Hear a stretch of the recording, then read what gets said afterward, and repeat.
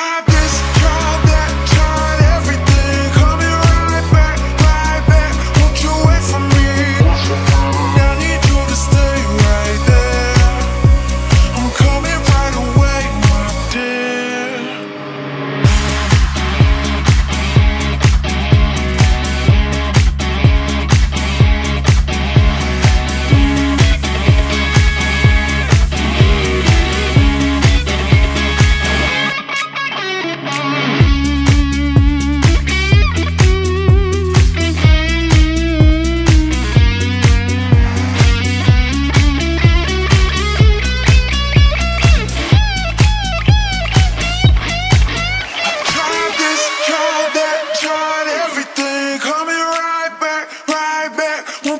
for me. I need you to stay right there.